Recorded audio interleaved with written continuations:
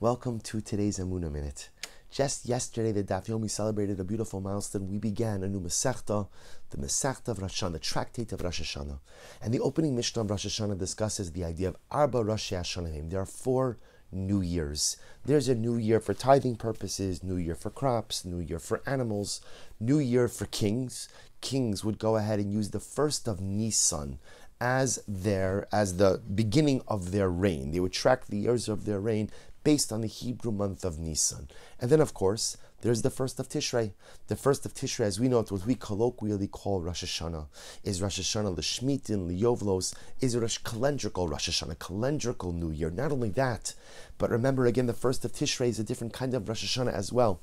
Is that each and every year it is also the beginning of the period of the days of judgment, as the Gemara itself explains. But Rosh Hashanah on the Yom Tov of Rosh Hashanah, the first of Tishrei, Kol ba'e olam ovrim of kibnei maran. All of humanity comes before God for judgment.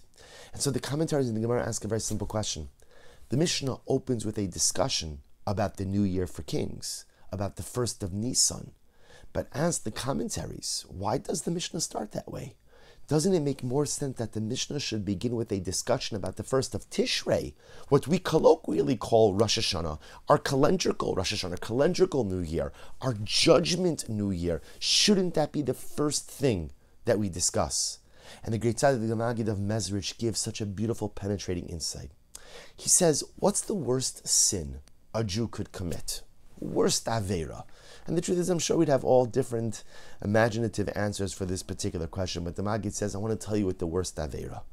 The worst Avera is when we forget that we are B'nai Malachim, when we forget that we are royalty. You see, when you forget that you're royalty, when you forget that you're special, that opens the door to all types of egregious behavior. I'll give you a simple example. You come home and you're hungry. Come home and you're hungry happens, would it ever dawn on you to go ahead and go outside to the back of your house, open up the garbage can, and see what's there? You know, Rahman al there are people who have to do that. But would it ever occur to me to do something like that, no matter how hungry I was? Would I ever imagine going ahead and going into the garbage can? Again, I'd sooner use Uber Eats than, than, than go ahead and go into the garbage can. Why? Because that act of going through the garbage can is beneath me. It's it's repulsive. It doesn't it doesn't even enter my mind that that's on the spectrum of possibilities. Of course, I'm not going to do that.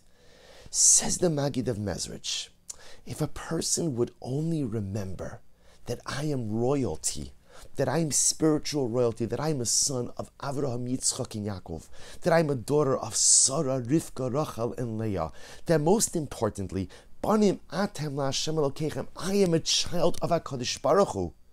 That would inform and shape the way that I live. And that would inform and shape the decisions that I make. But alas, sometimes we forget that we are royalty. We think that we are commoners. We think that we are regular folk. We think that our actions don't matter. We think that we are insignificant. And the moment you begin to think that way, the door to all types of egregious behavior is thrown wide open.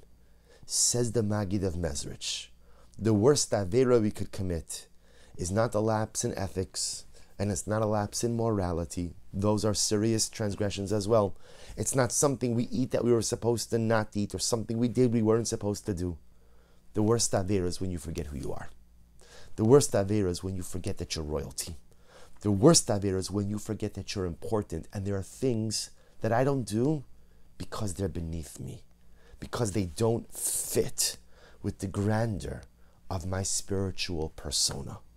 The moment we forget that, says the Maggid of Mezrich, is the moment we've committed the worst Avera of all.